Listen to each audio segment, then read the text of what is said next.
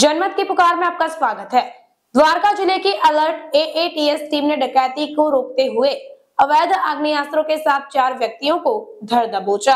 द्वारका ज़िले में anti auto theft squad के सतर्क प्रयासों के कारण अवैध आग्नेयास्त्रों और जीवित गोला बारूद के साथ चार व्यक्तियों को गिरफ़्तार किया गया। इस सफल ऑपरेशन ने न केवल संभवित डकैती को रोका, बल्कि सामुदायिक सुरक्षा बनाए रखने में कानून प्रवर्तन के समर्पण का भी उदाहरण दिया।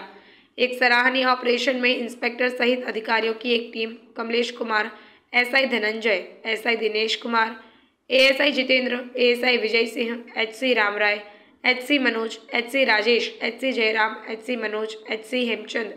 Shri के समग्र पर्यवेक्षण में कार्य किया राम अवतार एसीपी ऑपरेशन द्वारका। इस ऑपरेशन का उद्देश्य ज़िले और पड़ोसी राज्यों में सक्रिय विभिन्न आपराधिक गिरोहों पर सक्रिय रूप से निगरानी रखना था। टीम का ध्यान अपराध का पता लगाने से कहीं आगे तक बढ़ा। इसका उद्देश्य गहन गश्त और जाँच के माध्यम से आपराधिक गतिविधियों को रोकना भी था।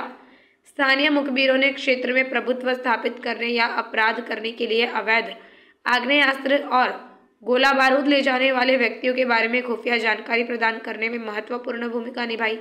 2 सितंबर 2023 को दिल्ली के बड़ूसराय गाँव फिरनी रोड के पास गश्त के दौरान एएटीएस टीम ने बिना पंजीकरण प्लेट के मोटरसाइकिल पर सवार चार संदिग्ध व्यक्तियों को देखा। पूछताछ करने पर उनकी पहचान सुनने विशाल रवि और एक अन्य रवि के रूप में हुई, जिनकी उम्र 19 से 25 साल के बीच की थी। बाद की तलाशी में उनके पास से तीन देशी पिस्तौल और पाँच ज़िंदा कारतूस बरामद हुए।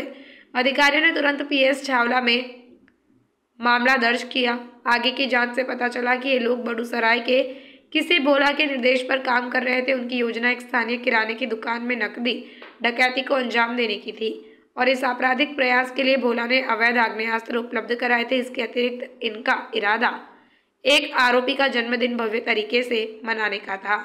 अगर आपने हमारा अभी तक चैनल सब्सक्राइब नहीं किया है तो कृपया चैनल सब्सक्राइब कर लें, लाइक करें, शेयर करें, कमेंट करें।